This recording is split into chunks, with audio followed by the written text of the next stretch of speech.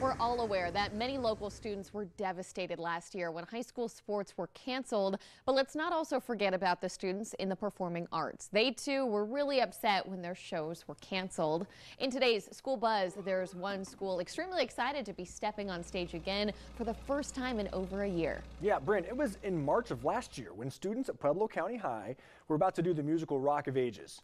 It was canceled along with everything else. Literally, though, a few hours before the show was supposed to start in front of a full live audience. You can only imagine how upset the students were after rehearsing for weeks, maybe months. But now, they're finally making their big comeback. Starting tomorrow through this Sunday, the theater kids at Pueblo County High will be performing the musical Ranked in front of a live audience with limited capacity.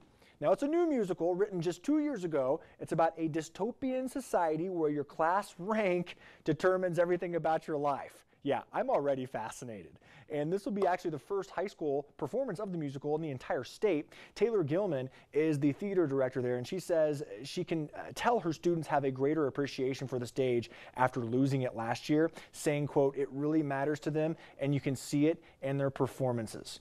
The shows are already sold out online, but if you'd like to buy tickets, go early. I'm told there will be a small handful of tickets available at the door. Really exciting. I'm really excited for them. I'm a, I'm a theater nerd myself. I did musicals in high school. Uh, I did some uh, off, off, off Broadway stuff in North Hollywood year, uh, like a million years ago. So I'm very excited for them. Go check them out if, if you get the chance. If you know a remarkable event like this, a student, teacher at your school, email me. Would love to hear from you. Schoolbuzz at krdo.com.